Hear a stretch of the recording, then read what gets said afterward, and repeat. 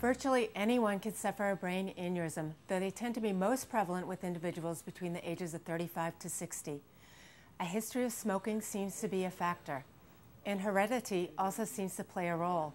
In approximately 20% of the cases, there is a family link, where two or more people in an immediate family have been diagnosed with a brain aneurysm.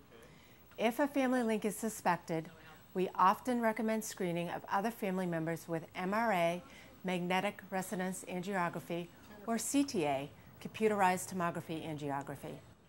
It's important to remember that although the aneurysm rupture rate per year is low, over a lifetime, this risk can be significant.